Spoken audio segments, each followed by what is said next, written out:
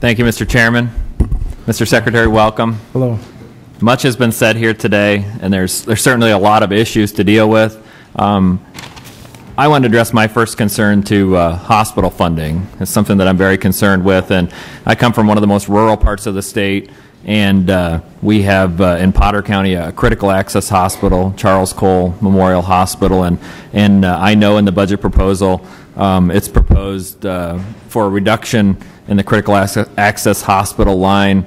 Um, in fact, all of the hospital lines are, are proposed to be reduced, and you know those are lines that uh, we're all well aware are, are matched with federal dollars, and uh, you know we the funding was reduced in last the current year's budget. There was a mid-year freeze, and then now we're proposing additional uh, reductions in those lines. So, you know, I'm concerned about that, um, and and would you know invite you to, to comment on on that particular issue. And then in combination with that, Representative Pickett also brought up the change in payments for OB services.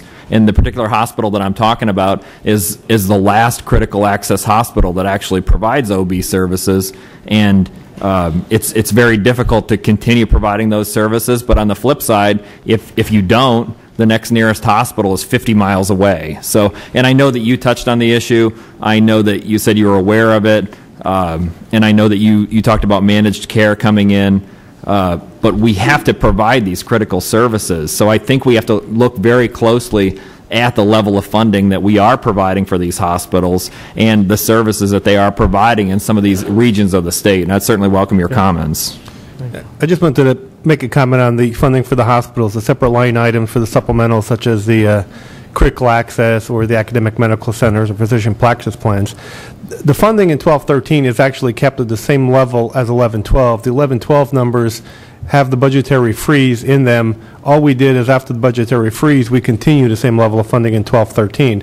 In the budget presentation, it may look like a reduction, but it is actually the same amount of funding in 1112 carried forward into 1213. There was no reduction in, Okay, we'll certainly be taking a close look at those, at those numbers. I also wanted to talk about the issue of pharmaceutical services, and I'm hearing a lot from my constituents about the, the uh, six prescription limit that, that was uh, uh, enacted at the beginning of the year, and, and the difficulty that uh, pharmacies in particular are having accessing your pharmacy call center. I wrote you a letter detailing the situation over a month ago and haven't gotten a response back from you yet uh, with some very detailed information about the difficulty that uh, pharmacies are having accessing your call center, the difficulty that mental health providers are having uh, to get authorizations to uh, to get these uh, necessary medications. So I'll look forward to your response. Um, it's something that I think is is very important. Um, and and something that I'm really looking for a response on, so that we can address the issue. I don't know if you're having a problem inside your call center. I I think just a- as a note, we did have some issues when we first implemented the call center at the beginning of the year, the volumes of the calls, but we have sif- since beefed up the staffing in the call centers, and I- and I think if you look at the response time now, it's it's a lot different than what was occurring at the beginning of the year, but we will get you back a response on the specific questions.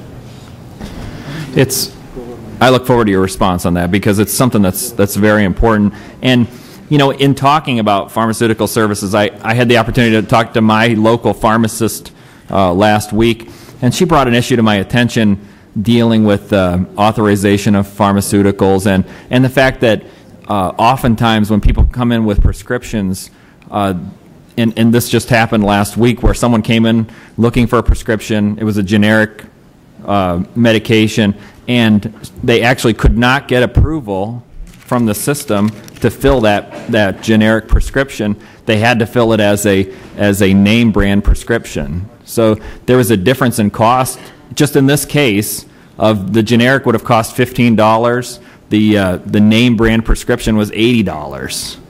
And that's just one example. So if, if that's happening over and over again, I can see how that could snowball into very, very significant cost. And I'm wondering, do you have, is there an issue with your system and where, whereby it would force people to, uh, to go with brand name prescriptions as opposed to generics? I think one thing we, we have to look at, I'm not sure if it's the exact answer, is that we get significant rebates on our brand name drugs to the point where we may get more of a rebate on the brand name drug than we will for the price of the generic. I'm not sure if it's the issue with the approval of the specific drug in question, but it's one of the reasons why we may go with more brands over generics. So you're saying that you would save cost by going with the brand name? We get the rebate at the back end of the proposal. Once we bill the manufacturers for the rebate on the brand name, we get a pretty high rebate on those brand name drugs. Okay. I also want to add my name to the, to the list of people who have talked today about the issues with the aging waiver and the concerns that the AAAs have. Um, We're all hearing from the, from the AAAs, and, and uh, I'll certainly add my name to that list.